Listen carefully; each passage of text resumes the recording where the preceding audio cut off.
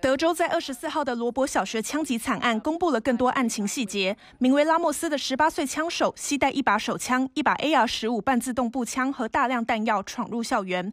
德州公共安全部二十五号表示，拉莫斯把自己跟十九名小学生以及两名教师关在同一间教室，并堵住出入口开始扫射。这些人已经证实全数丧命。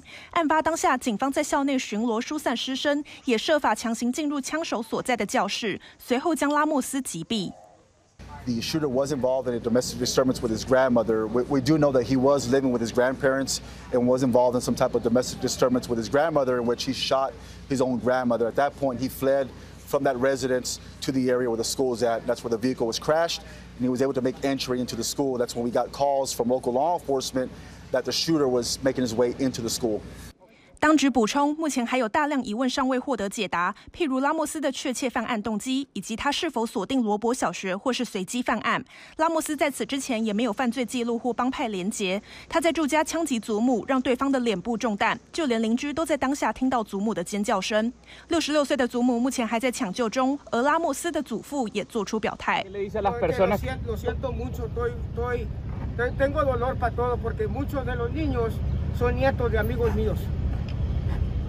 哎，lo siento，lo siento por todas las familias，por todo。What about your grandson？I'm not happy about it。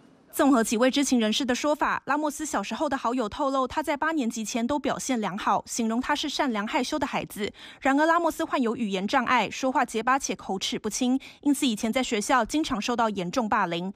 另一位朋友则表示，拉莫斯的行为逐渐有所变化，譬如会拿刀划自己的脸，或在车上用气枪随机攻击路人。邻居也表示，拉莫斯和母亲经常互相对骂，有好几次严重到惊动警方到场。一直到今年三月，还和拉莫斯一起在素食店工作的同事透露，他的态度有时很粗鲁，会带着恐吓语气与他人说话。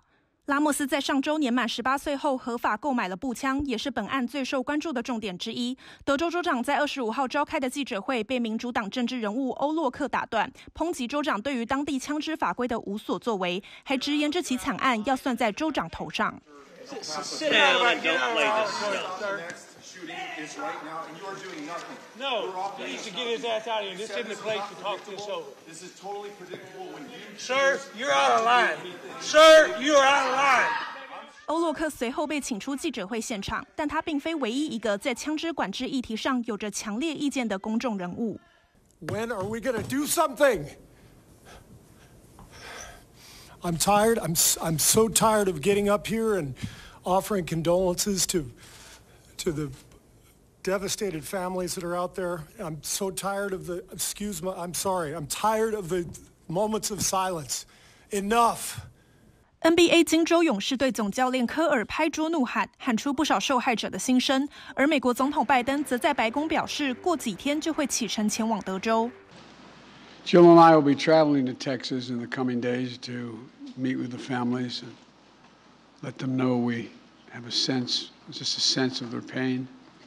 And hopefully bring some little comfort to the community in shock, in grief, and in trauma.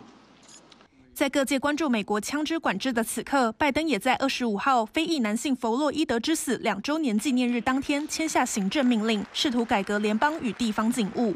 当中规定，所有联邦机构修订关于武力使用的政策，并且成立全国资料库，登记那些因为不当行为而被开除的警察，还拨款鼓励地方远警限制锁喉和压警术的使用。在推动警务改革之际，拜登也再一次呼吁国会立法加强枪支管制，别让近年越来越频繁的滥杀事件成为美国人民的恐怖日常。环宇新闻刘庆文综合报道。